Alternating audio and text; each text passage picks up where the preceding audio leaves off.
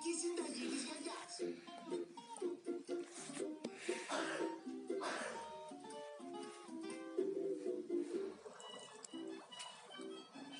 Βάλε μου λίγο ακόμα πλανκτόν.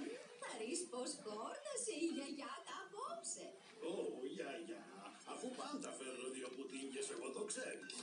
Ω, θα πρέπει να είναι μουρλιά.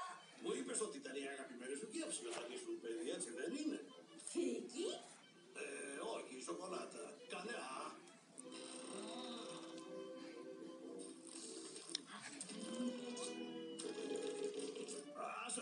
γιαγιά.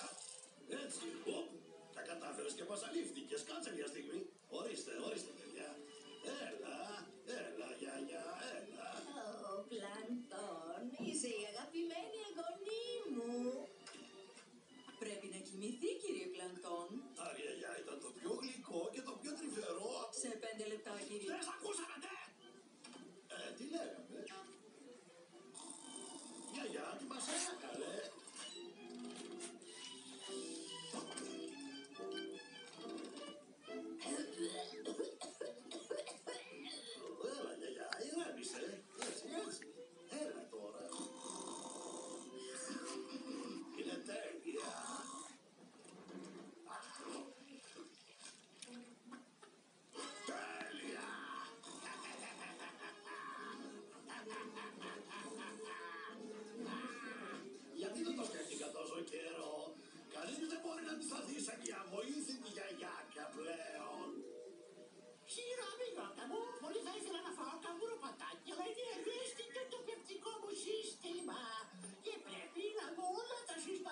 真是一面烂熟的，这把刀你这他吃的，其实我都不着急了。啊，了，